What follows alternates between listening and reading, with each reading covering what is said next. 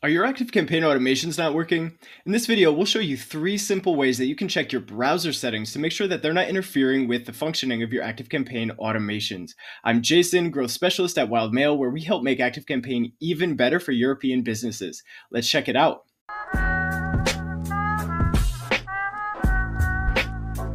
So before we get started, I want to remind you how to create a contact to test your automations. So first, we're going to go to Contacts, Inside ActiveCampaign, we're going to go to Add a Contact, the blue button in the top right. You fill out first name, last name, email, and phone number, and click Add. And when you're in that account, we'll just use Melania here as an example. When you're in your test contact, you can scroll down to the section titled Automations. And this is where you'll be able to add them to the automation. You can search it here find the automation that you're testing, add them to it, and then follow them through the path to test and see why the automation might not be working.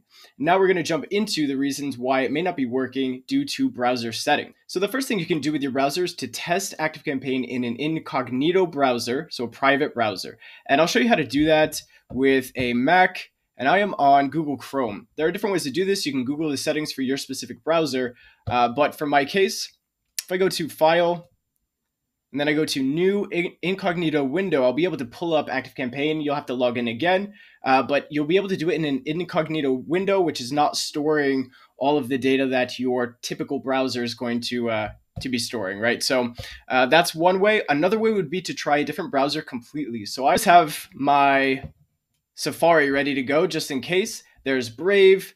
Uh, there's Microsoft Edge, depending on you know what operating system you're you're running.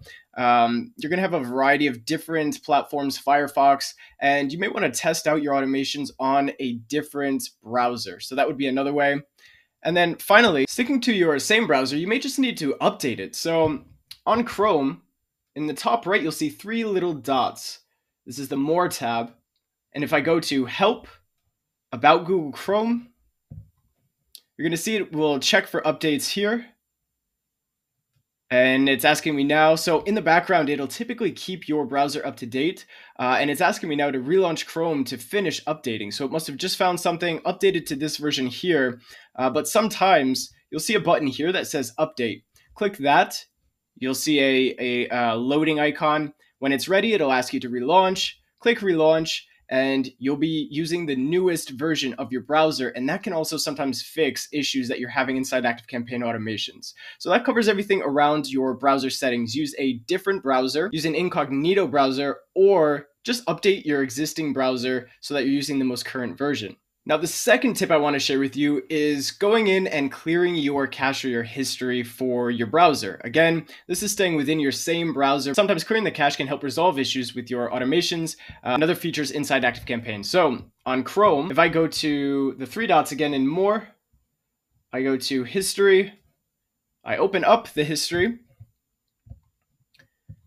and I can go to Clear Browsing Data you can clear it. Typically, I would do all time for this just in case. And browsing history, cookies and other site data, and cached images and files. I will typically clear all of this just to make sure I've tried everything. Uh, it will sign you out of most sites. If you're using a password app or extension to store all of your passwords, should be no problem. You can just log back in, uh, but you're just going to click clear data, log out, close out of the browser, go back into Chrome, go back into ActiveCampaign, and then test your automations again.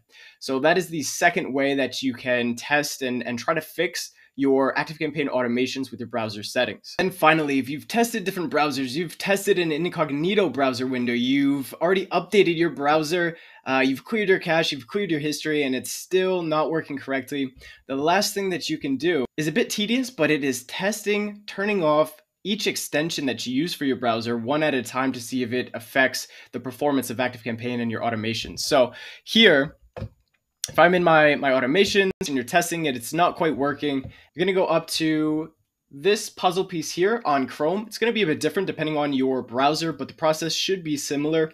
We're gonna go to extensions, we're gonna go to manage extensions, and then from here, you can see the toggle for each one. Now, I run a good amount of extensions, um, and I'm sure plenty of you run more than this. So it is a bit tedious, but sometimes extensions can interact with different software, different platforms, different websites, and cause them to malfunction. So toggling each extension off one at a time and then testing the automation is another way to ensure that you've tested everything with the browser settings to make sure that that's not what's causing the issue with your automation. Now, if none of these adjustments to your browser settings help fix the automation issues, we'll have another video that'll walk you through some troubleshooting tips and checks and balances you can take inside ActiveCampaign automations to check the logic, uh, the settings of the automation, see what's happening with your specific contacts and why they may not be passing through correctly inside your automations. You can always drop your questions below this video as well. And if you're a customer, you'll enjoy premium support with us, response times in less than an hour if you're based in Europe. So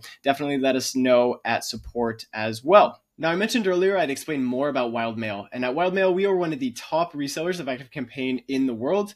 And at its core, Wildmail is just ActiveCampaign, so nothing changes with your pricing, your API integrations, your email sequences, your campaigns, your login, your password. It all stays the same because it is ActiveCampaign at its core. We inherit your next billing cycle, so you don't get charged anything additional by us, but your next billing cycle will be through us, and then that allows us to stack additional benefits for free on top, especially for Europe based businesses. So, first, we've got premium localized support. We are based in Europe. We're delivering it in different languages English, French, Spanish, German, Romanian. And we're leveraging years of experience as an active campaign agency in the past to help you get the most out of this tool today. You'll get custom onboarding with our support team, plus anyone on a plus plan or above will get a package of free consulting calls with us. If you're already working with a third party agency or in house, no worries, we'll do it with them. Now, we also have a library of free training you can use. And finally, we have Wild Metrics.